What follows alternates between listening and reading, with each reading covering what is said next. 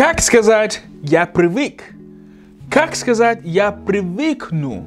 Как сказать «я раньше делал что-то»? На английском языке мы используем один глагол, чтобы сказать вот это все. Хотите знать? Прямо сейчас жмите лайк и не жмите... Прямо сейчас жмите лайк и не ждите. Поехали! Мы используем, к удивлению, глагол use, который означает использовать. Но если хочу сказать «я привык», я скажу I am used to. I am used to.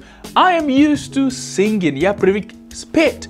I am used to living in Germany. Я привык жить в Германии. Вот. Но самое интересное то, что вы используете used to плюс глагол в окончании. Это очень важно знать. А как сказать «я привыкну» или «ты привыкнешь»? Мы скажем «you will get used to». You will get used to living in Germany. If you are not used to living in Germany, you will get used to living in Germany. Если ты не привык жить в Германии, ты привыкнешь жить в Германии. А теперь как сказать «я раньше сделал»? Мы теперь просто говорим I used to. Не I am used to, а просто I used to.